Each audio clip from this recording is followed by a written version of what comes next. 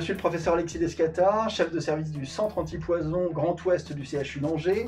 Alors le confinement lié au Covid-19 a changé nos pratiques, plus d'ingestion volontaire médicamenteuse des personnes les plus fragiles, des enfants qui attrapent le solité hydroalcoolique ou tout produit euh, domestique traînant à sa portée alors que les parents télétravaillent, des personnes simplement qui nettoient de manière abusive, par exemple à l'eau de Javel.